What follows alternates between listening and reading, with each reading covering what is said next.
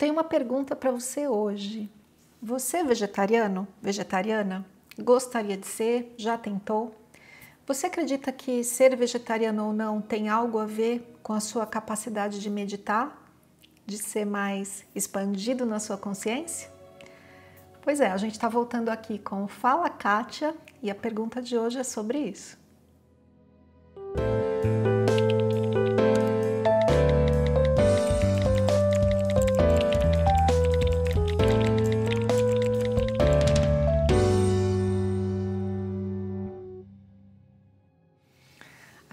Fala Kátia de hoje é da Vani Ferreira, veio através do YouTube e é a seguinte: Kátia, adoro seus vídeos. Quando puder, gostaria que falasse sobre vegetarianismo e espiritualidade. Sei que é polêmico, mas gostaria de saber o que você acha. Eu gostei muito dessa pergunta porque ela tem muito a ver com a minha vida. Eu me tornei vegetariana aos 13 anos por influência de uma professora de yoga, que foi na época que eu comecei a praticar yoga. Alguns livros que eu li e também uma amiga que gostava muito dos animais. E a gente ficou muito próxima e eu decidi me tornar vegetariana. Muito tempo passou, eu comi carne algumas vezes quando estava grávida, depois um tempo eu fui vegana, depois um tempo Passei um tempo comendo só comida viva.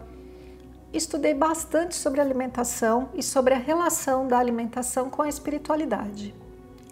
Mas eu vou te falar o que é que eu penso disso hoje, que foi a pergunta da nossa amiga aqui, né?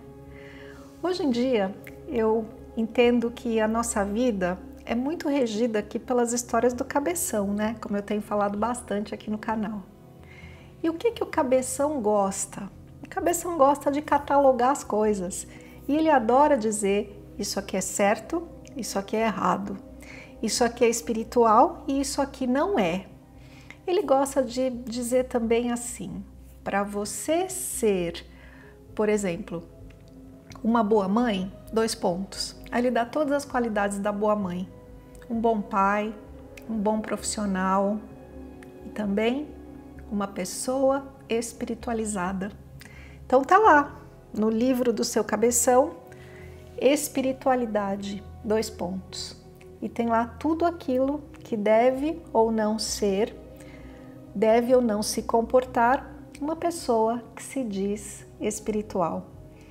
A minha pergunta é: será que isso é verdade? Eu também já acreditei nisso, bastante. E de fato existe uma relação entre você estar com seu corpo mais leve, mais purificado e conseguir meditar melhor. De fato, isso existe. Mas será que é verdade quando a gente diz assim? Para a pessoa ser espiritual, ela precisa ser vegetariana. É verdade? Eu andei por aí conhecendo e entrevistando diversas pessoas que se colocam numa posição de professores espirituais é um título que a gente dá. São pessoas que estão no mundo, assim como eu e você, e que cumprem uma função. E essa função tem a ver com a espiritualidade, com a consciência. Conheço muitas dessas pessoas. Bom, posso dizer algumas aqui para você. Eu conheço o Patrick Ziegler, que, que outro dia teve com a gente no canal, fez uma live. Ele é vegetariano? Não. Outro dia a gente fez uma live também com o Mus Murray. Ele é vegetariano? Sim, ele é. O Dr. Gabriel Cousins também é. E o Howard Wills lá do Havaí, não. Eu conheço a Jazz Morin, que diz que vive de prana. Acredito que sim. Vive de luz, nem sequer come.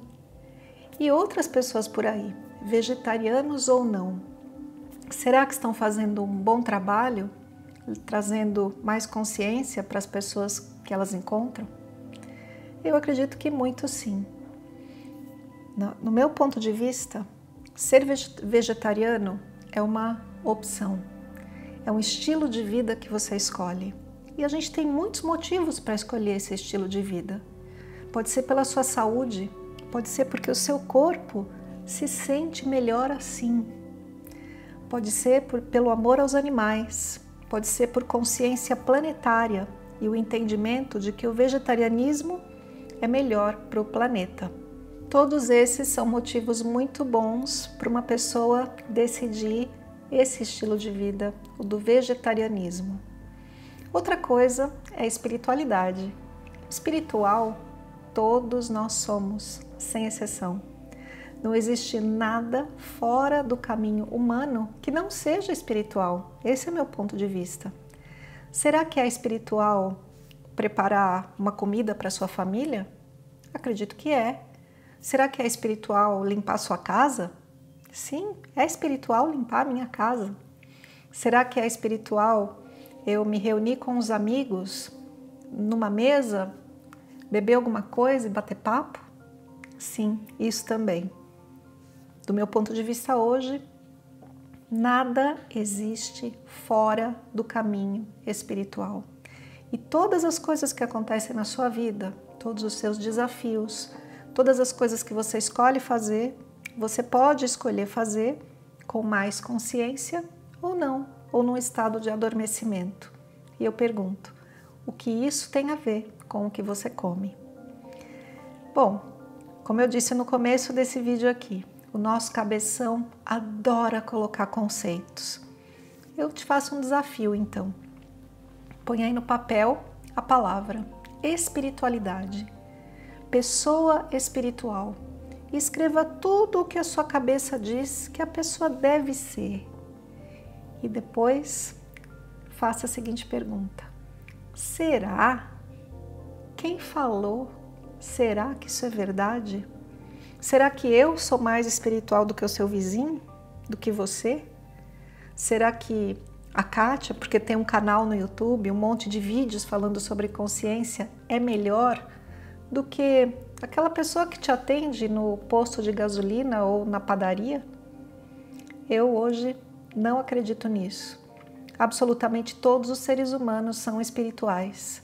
Todos os caminhos conduzem a mais consciência, mais dia, menos dia.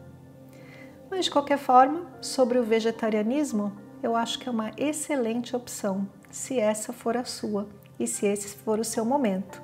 Existe um montão de material aí na internet para você pesquisar. Comer carne ou não comer carne. E eu deixo a escolha para você. Foi uma ótima pergunta. Eu espero que venham mais perguntas para a gente ter mais assunto aqui no canal. E se você gostou desse vídeo, não esquece de deixar um gostei para mim, comentários e sugestões de novos vídeos aqui nos comentários. Não esqueça, compartilhe este vídeo com quem você ama. Um beijo.